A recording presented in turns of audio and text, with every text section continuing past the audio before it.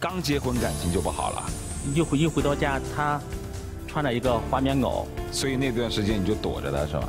躲着他不回家。不回家，你从他的眼睛里看到过嫌弃吗？看到过，然后他就不上班，和社会都脱节了，就是。他为什么不上班？因为我不让他上班，你为什么不让他上班？老是给我找麻烦。他只要逮到我，他就必定和我吵架。他把我胸膛一块皮直接给我扯掉了。其实你心里很委屈哈。其实我也不是想要什么多好的生活，我就想你搭理搭理我。我也不想不打扮，要打扮了没人看。你肯定嘴毒，你知道。他吵不过我，我那个嘴特别厉害嘛，然后忽然间就说不了话了，面瘫了。我朋友说这这这报应，他就一边筹钱一边用他很很少的关系去打听到到哪里能治疗，然后鼓励我说你肯定能好的。谢谢你来了，敬请关注。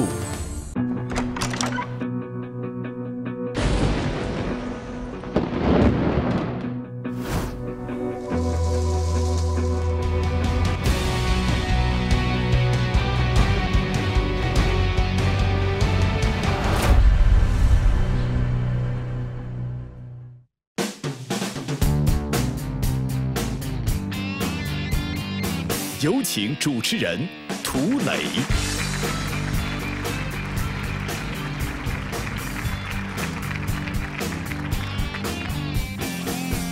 真情致谢，从新开始。欢迎来到重庆卫视，谢谢你来了，我是涂磊。欢迎电视机前和网上的所有的观众朋友们。本栏目由三合一新方法养护骨关节营养无骨比例赞助播出。参与节目评论，报名参加节目。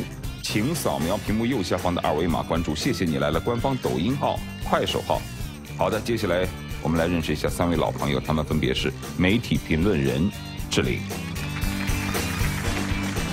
媒体评论人石树思、心理专家白燕怡。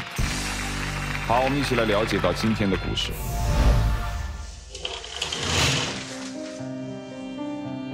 我结婚快十年了。而是，在婚姻开始的前五年，我不知道什么是婚姻生活，什么是家庭生活。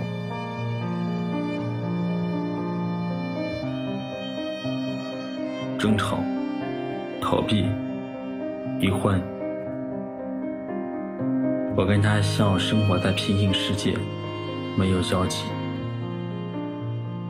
后来的一件事，才让我看到他，看懂他。才知道自己多么不懂事，老婆，对不起，那次在医院，我不该让你滚。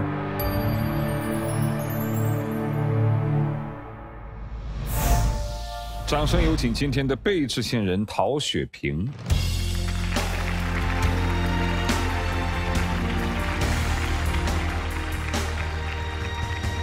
你好，大家好，涂磊老师好。多大了？今年三十岁，哟，看着还像二十出头的样子。哪里人？山东。你老公给你道歉？嗯，对。道啥歉？嗯，第一次听到他说道歉的时候，觉得也挺意外的。受宠若惊是吧？对对，因为平时的时候也没有听他说过道歉之类的话。哦，那他到底对得起对不起你吗？感觉我们两个都有错吧。那到底谁更对不起谁多一点？嗯，自己以前也挺任性的。好，来，掌声有请今天的制线人董磊。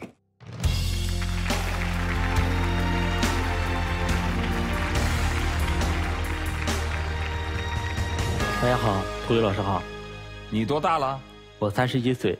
哦，大一岁是吧？嗯，大一岁。怎么着对不起人了？嗯，因为之前我一件事做的特别的过分。就是一七年的时候，因为我得了面瘫，然后接着得了抑郁症嘛，嗯，然后我就自杀了。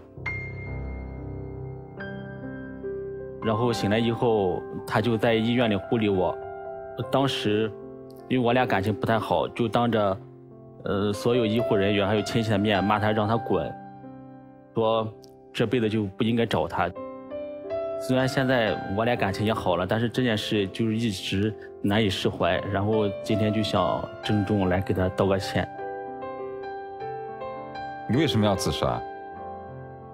因为一七年的时候我得了面瘫，哦然后嗯说话也说不流利，喝水吃饭都很困难，去过许多医大医院，然后医院说你只能回去养着，给给我开了一点那个叫养滋养神经的药，我就觉得这辈子可能完了，根本就恢复不了了，然后心情就不好，就开始掉头发、焦虑。那别人救你，你你你咋还怪别人呢？因为之前我俩感情不和，所以说我就一直心里抱怨他，一直恨他。啊，就不该救他，是吧？嗯，也不是，当时就觉得是，嗯、毕竟在一起结婚这么多年了嘛，多少年？嗯，快十年了，十年？对，怎么认识的？我俩是零七年年底同时在一家酒店打工，谁追的谁？觉得这个小伙子感觉挺实在的，你追的他啊？平时的时候就主动的和他聊天，嗯，然后慢慢的两个人在一起时间长了，就有了感情。当时就是我值班的时候，他也经常去陪我值班嘛。然后就有一次他就说，他梦见他爷爷告诉他，他给他物色了个对象，然后说的这个人好像我，然后我觉得可能我俩有有缘分。你爷爷还在吗？我爷爷去世了，去世了。这梦是你编的吧？当时的时候我忘记了，我我不记得我说过这这段话了，那就是编的我忘了。那多久之后结的婚呢？零七年年底订的婚，一二年结的婚，婚后感情好不好？不好。刚结婚感情就不好了，我俩从定亲以后感情就不好。咋了呢？定完亲之后呢，我就一直上班工作，然后他就不上班，他为什么不上班？因为我不让他上班，你为什么不让他上班？因为他上班老是给我找麻烦。他上班给你找麻烦，啥意思？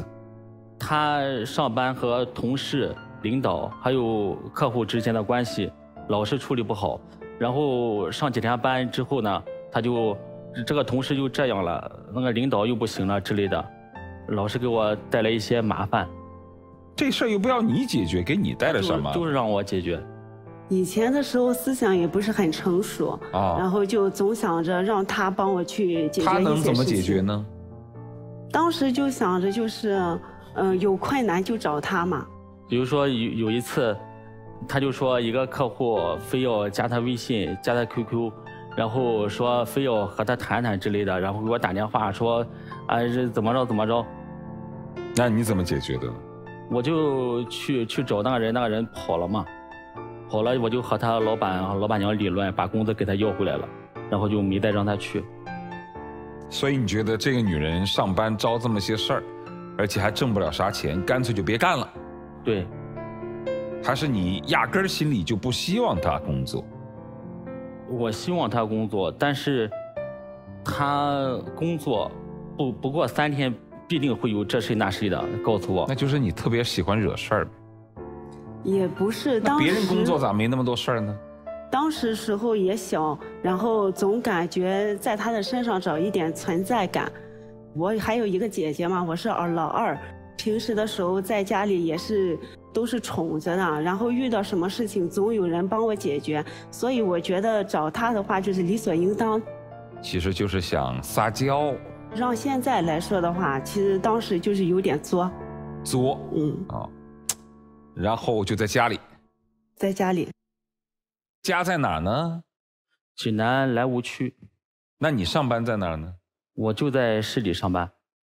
他结婚以后就回老家了，回农村去带孩子了。结婚之后就有孩子了，啊、这那也就是说你们就两地分居呗。两地分居。你在城里面做什么工作？我做 KTV 工作，我一开始是服务生，然后接着是领班、主管、经理，最后做到店长。那他在老家带孩子，你在城里挣钱，你们也不会有矛盾呐？怎么会感情不好呢？就是我也是，嗯，年纪小嘛，然后他他接触的人不多，就是他的父母、姐姐还有我的父母啊所以他的心思可能都放在我我身上，老给我打电话或者莫名其妙的就发一条，呃，特别让烦心的那种信息，什么烦心的信息？就就是说你你自己在外边多好多好，我在家里又又得看孩子，又又得这样，牢骚话，啊、对，牢骚话。你是不放心他吧？不是不放心，那是什么？当时的时候就觉得一个人带孩子，他经常他不回家，你去找他呗，当时孩子小，还不到一一岁，你就很烦是吧？对，当时还有一点抑郁那种感觉，啊你就想跟他在一起。嗯，总感觉嗯心里有委屈，然后想找他倾诉一下，但是他不耐烦。嗯，那他回家里以后看见你的时候耐不耐烦？他很少回家，一个月最多也就是两次吧，大概有多少公里吗？三十公里，不远啊，三十公里，怎么一个月才回两次家？其实我是躲着他，躲着他我俩见面就容易吵吵之类的，啊！我就躲着他。你是不是越看他越不顺眼了？嗯，是。哪儿不顺眼呢？回一回到家，他穿着一个花棉袄，穿花棉袄怎么了？从来不换衣服，然后也不也不注意礼节，比如说亲戚朋友聚会，其实长辈要做上手的，在在我们农村是很很讲究的，每次都是上上期人还没坐，他他就看到那边宽快，他他就坐下了，然后我让他起来，我说你你起来，这是长辈做的，然后他就和我吵吵，然后我觉得特别脸上架不住，父母没教过你礼节吗？教过。那你干嘛还不懂？当时的时候就觉得是在老在老家，然后亲戚什么的都亲戚朋友的都没有把我当外人，然后亲戚也有长幼尊卑呀、也没在乎这么多，因为经常见面，你从他的眼睛里看到过嫌弃吗？看到过。你觉得嫌弃你啥？嗯嗯，不会打扮，和社会都脱节了，就是城里的女生都怎么打扮？最起码出门会穿个外套，然后不会不会来了客人也会穿个棉袄、拖鞋这样的，城里哪种姑娘的打扮你是最喜欢的？穿职业装的那种。小西装，啊，对，然后呢，然后就是特别会说话，特别会做事那种，要涂口红吗？化个淡妆就可以，那她呢？穿拖鞋，不出去就不洗脸。这不是不会打扮，这叫邋遢。当时带孩子也没有空去收拾一下自己，这是谁呀、你呀、嗯，这就是你嫌弃的那个样子是吧？这样看挺好看的哈、好清爽。这还是美颜过的，他不美颜，他他不会照相的，说白了，你就嫌人家难看呗。他不是难看，就是太邋遢了。他今天这样好看吗？今天这样好，所以那段时间你就躲着他是吧？躲着他不回家，不回家，你越不回家，他越抓狂吧？他越厉害，他他只要逮到我，他就必定和我吵架，动手吗？动手。他一般吵架，他吵不过我。我在 KTV 上班嘛，啊因因为经常遇见那个，呃，顾客喝多了酒，打了电视机不讲理的那种，啊，所以说我嘴皮子可能快一点，然后他吵不过我，他就，他就动手，他就，吵不过他。吵不过，然后就觉得心里挺压抑的。其实你心里很委屈哈。其实我也不是想要什么多好的生活，我就想你搭理搭理我。我也不想不打扮，然后打扮了没人看。我也不是说不想这个遵守礼貌，我其实心里憋得慌。你要是理理我的话，我哪会那么不懂事儿呢？对不对？是这个意思吧？对。啊那你跟他说嘛，你动手干啥？就觉得挺压抑的啊然后就身边有什么就觉得是先发出来再说，拿到什么算什么。记得有一回是拿了一回，嗯，板板凳，砸中了吗？嗯，没有，没砸中，让我姐夫给挡下了。还拿过啥？记得有一次就是他朋友上我们家里去，啊，然后当时也有闹得不愉快，然后正正在切着菜的时候，切菜，菜刀，然后就就扔扔扔过去了没就扔掉了，就是。天哪！家暴是犯罪啊，可以吵可以闹，但绝对不能动手。当时也是我把他给气气火了嘛，你怎么气他了？你说啥了？除了会洗衣服，除了会做饭，你你啥都干不成。你看你看样吧，你看干啥也被打，干啥都什么？都都白搭。反正那个那个围绕的意思就找了你后悔了。你肯定嘴毒，你知道？我我嘴就是贱。吵得最厉害的时候受伤过没？有一次他，嗯，他咬我咬的很特别厉害，他咬你，嗯，他把我胸膛一块皮直接给我扯掉了。扯掉了一块皮呀、当时我忘记了具体，可能是他拦我嘛，啊！嗯，然后我就算算是咬了他。你们闹过几次离婚啊？三次，第一次是因为去他家里，他说非非得去，我我说我想睡一会觉，然后就因为这点小事就吵了起来，然后我俩直接去民政局，那个合同都打印好了，然后进去之后让我朋友把把我们拽回来了，第二次呢？也是因为一点小事，然后就吵吵的不可理喻，然后就也是去离婚，然后我妈和孩子又打电话，就一个劲的哭，然后我俩也也就回来了。第三次是因为什么事儿呢？和和别人发一条信息，好像是他非要看，我说，你看我信息干嘛？你看我信息就挑这毛病那毛病的。他说他不是真想看，反正就就是吵起来了。就给他看呗。我怕我怕他又说这说那的，你到底有没有事儿？没事然后就吵起来了。又吵起来了。那后来怎么又没离呢？工作人员说现在离婚得排队，得排一个月，让我们回来等着，等着等着我就得了面瘫了。这段时间真想离吗？当时的时候是想离，啊，嗯那为什么三次都没离成？嗯，也觉得是，毕竟在一起这么多年了嘛。然后当时的时候也是觉得他挺踏实的，觉得有时候自己也是有点任性，有的时候也挺恨自己的。对，也挺矛盾的。第一是恨自己为什么就那么没能力，第二恨自己为什么总是忍不住坏脾气，第三是恨自己没志气，想离又离不开，想过又过不好，对，是吧？嗯。面瘫了，我看你现在的样子好像也像面瘫一样哎。恢复了好多了。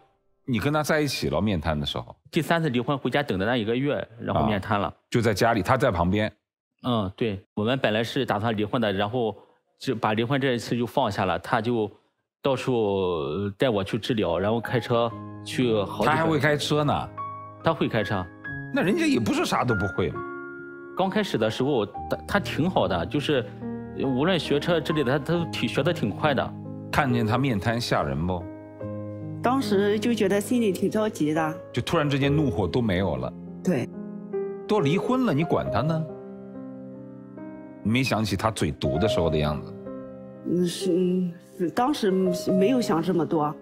你就心疼他了是吧？对，啊，你就带他去看病，啊，急不急啊？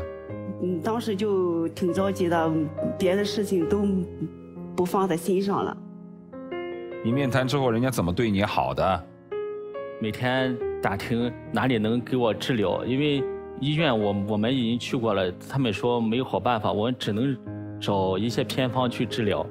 当时他就考虑到我不不上班没有钱，然后他就偷着打电话到到处借钱，问他姐姐，问他家里人。其实当时我我是有私心的，其实我当时有十万块钱左右的存款，但是我没拿出来，也没告诉他。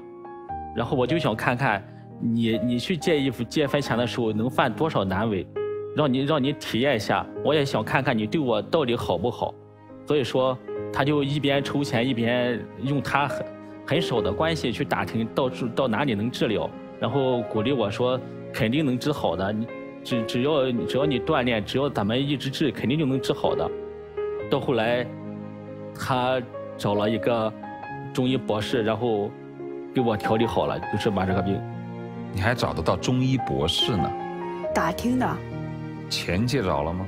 借到了，也是向谁借的？娘家还有我我姐姐家也是，当时也没有朋友，借钱求人难吗？肯定是觉得难。他那段时间对你好吗？给你发脾气吗？那段时间其实我脾气不好，那段时间就是本来我也说过我我我这个嘴特别特别厉害嘛，然后我这个嘴突然间就说不了话了，也有也有朋友说这这这报应，然后我就不好意思出出门，也也不敢出去，这件事就就是对我来说特就天塌了一样，我就觉得拼搏到最后竟然连话都说不了了。然后就抑郁了，就每天就是，就找他的茬，拿他出气，这么不行那么不行找他麻烦，然后他都没再和我吵，也没再和我计较。那说明人家以前那发脾气，就是心里不开心，对，但人家不是一点包容力都没有的，对吧？你病了之后，人家一点脾气没有吗？他忙前忙后的那个样子好不好看？啊？是不是你以前所嫌弃的那个邋里邋遢的样子？你会发现他还有点本事哈。嗯，当时发现其实他挺在乎我的，只不过是我也没和他深的接触过，就结婚以后，也没让他体验过两口子在一起，一家人在一起是什么感觉。我每天晚上都上晚班，然后白天又不起床。他那段时间会安慰你吗？会安慰，他说：“嗯，咱们还有孩子长着，你你若倒了，我们全家又倒了，我和孩子都指望你，你肯定能好的。很多人都得过，然后人说谁谁谁都都治疗过来了，只要咱们不放弃，肯定能治治过来的。”他说这个话的时候温柔吗？温柔，感动吗？感动，但是当时那个心态，还是挑他的麻烦。他什么时候把自己的十万块钱交出来？嗯，他这个病好了以后，好了以后才拿出来的。对，好了以后拿出来干嘛？嗯，把我之前嗯欠我娘家那些钱还上，然后想让我真正帮我去干一份事业，就是想让我改变一下。觉得自己心里内疚哈，对不好意思哈，对，你还存了十万块钱的私房钱，我我害怕离婚以后又又得分嘛，当时。哼，也就你这老婆老实，她其实真的老实，她不厉害。她要是厉害的话，你能存得到十万块钱吗？其实我我俩之间，嗯，矛盾都不在钱上，包括她不上班，其实我她不挣钱，我？那在哪上面呢？就是在沟通，还有在，我可能就一直想往上走，然后她好像是和我正好是个反面的人，他就想在原地怎么舒服怎么来你。是说人家没上进心呗？对，你有上进心吗？以前的自己可能就喜欢那种安逸的生活，就是也不想就是说是出去挣钱或者怎样，就想着自己在家里带孩子。那现在呢？现在有上进心吗？现在觉得很确实和社会脱节了，然后就想着去改变一下自己，去提升一下，然后我们两个能同时的跟上步伐，一起去努力。现在怎么样嘛？我病好了之后，我就把他欠的钱给还上了，然后又借了点钱，给他开了一家美容店。他开始是不愿做，他不敢做。加盟之后，他好几天都睡不着觉，就很就害怕，害怕自己把这些钱都扔上了。我就说，不指望你挣钱，就让你出来体验体验，你也有自己的人生，你也要懂得这个过程。就这样，我就一直帮着他开了一家美容店。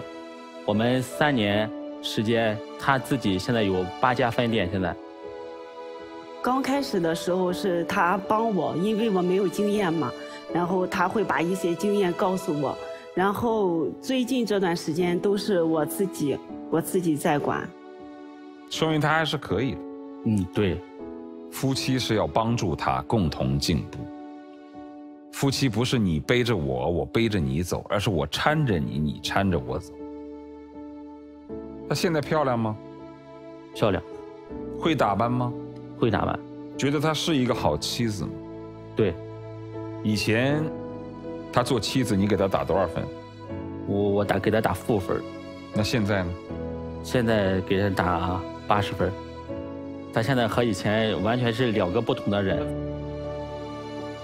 以前的时候，确实，我觉得在婚姻当中，我们肯定都是有有不足的地方。你以前给她做丈夫打多少？打六十分吧，现在呢？现在话是九十分，哟，你还给她打的高一点，她还才给你打八十分呢。因为确实，因为他帮助我，嗯帮助我很多在事业上夫妻。不是互相帮助。有些女人看上去傻，看上去笨，看上去不修边幅、邋遢，脾气不好，你知道为什么？因为她没有得到爱。你明白我的意思吧？明白？所以，当我们男人发现女人脾气特别不好的时候，你要想想，是不是我没有给够足够的爱？你咋哭了呢？就是年年龄大以后就就懂了一些，就懂了啊。嗯，哦。接下来我们听听三位老师对这段情感的解读。你好，雪萍。我想反思的是，作为一个女人，在步入婚姻之后，应该怎么成就自己？有很多人其实他是有惰性的，觉得自己有了个依靠，老公在外面可以赚钱，我把家管好，好像我就已经很可以了。我们如果能像他出现了面瘫那个时候那样的状态，如果能够再早几年，也许你们的婚姻质量会非常好。所以说，实际上我觉得，当你开始自强了，当你开始自我发展了，你会发现整个世界开始向你敞开了大门。所以说，我觉得作为女人，真的是要不断的进行自我建设。你的改变带来了你们现在的幸福，我看着觉得特别的开心，而且我真的觉得此刻的你就像一朵鲜花在绽放，而那个土壤恰恰是你自己。谢谢，谢谢你们来了。谢谢老师。谢谢老师。两位好，刚刚你们俩在一起的时候都小，雪萍好像又比较的任性，以我的情绪为所有的事情的主导。东磊那时候也小，你不能理解，你也需要被疼爱，你们就进入了一个恶性的循环。这个恶性的循环就是我想要你不给我就跟你闹，你一闹我烦我就躲，夫妻关系之间就这样渐行渐远。之所以后来你们慢慢走过来，一方面是你的那个病，它成了一个转折点，突然间让雪萍其实有一个顿悟，就这个世界。你没有人能够去真正的去依靠，所以你开始不仅去照顾他，在他好了之后，你开始去在他的鼓励之下去创业，独立开始。为什么说独立对一个女人来说特别的重要？是因为它能够让你去发现你自己的内在的力量，然后自信，能够让你去感受到你自己的价值感。你的价值感不是只等着每天。丈夫回家之后给你一个拥抱，给你一个微笑，好像我才有存在的意义和价值，而是我自己能够去通过自己去创造。相信你们在未来的生活当中，能够彼此不仅看见自己，也看见对方，独立的、坚强的、相互信任和支持的走下去，生活一定会越来越好。谢谢你们二位的到来，谢谢。谢谢老师。这胸口还疼吗？不疼了，不疼了。嗯，有疤吗？有点。你心疼吗？听说他有疤，还行。解气吗？嗯，结婚时候都太小了，缺少生活的阅历。因为现在年轻人都特自我，这跟城里乡下也没啥，乡下孩子不是孩子呀，也都受宠，都有个性，相处起来比我们这些老同志啊要难。我们都有兄弟姐妹，从小受过这种亲密相处的，尤其同龄人亲密相处的训练，你们没有，都是父母手心里的宝，长大成人以后。跟一陌生人凑一堆儿，虽然爱的要死要活，但他真需要时间。恋爱的时候看到的全是优点，婚姻不同，慢慢慢慢发现的全是对方的缺点。所以真正幸福的婚姻，你看走到银婚、金婚的很多人，他就会说：“哎，我们一忍再忍。” 直到忍无可忍，然后你就慢慢做一种努力，因为这个缺点，让它变好。好的婚姻就是两个成年人凑到一起，一个屋檐下一起变好的故事。希望你们珍惜当下呀，一次成全。谢谢你们的到来，谢谢老师。谢谢老师。其实呢，你们俩之间恰恰说明了一件事情：夫妻俩在一条船上，手上都得拿着桨，力气多大有分别，但是否尽力往前划那是必须的。好，接下来有什么话跟妻子说？谢谢你来。咱俩从十八九岁。一直到三十一二，一起经过这么多年，可能比人家从大学恋爱的时间都长。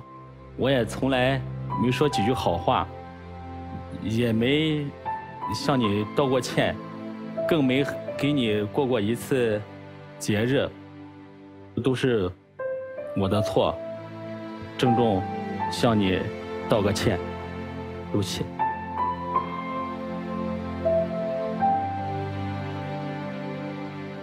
我们以后共同努力，携手创造我们更美好的未来。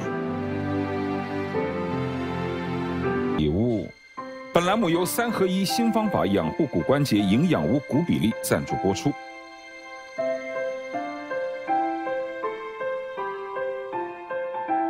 这只能说明他还是长私房钱。这这确实是用我最近的私房钱买的。他又存，他又存私房钱。算了，回去解吧，啊，回去两个人一起慢慢解，啊，总有解不开的小疙瘩，但是呢，我们就是在不断的解疙瘩的过程当中，别的不多说了，吵吵架很正常，生活总是这样，啊，希望你们以后更加幸福，谢谢，再见。谢谢土雷老师，谢谢老师。本栏目由三合一新方法养护骨关节营养无骨比例赞助播出。对不起，都是我的错。我们以后共同努力，携手创造我们更美好的未来。婚姻就是找个队友，同舟共济，因为生活不易，好吧？没有那么多时间去吵架，有那个吵架的劲儿，不如一起加把油往前滑。好的，如果你也有对不起或感谢的话想要诉说，也欢迎你来到这个舞台分享你的故事。下期节目我们不见不散。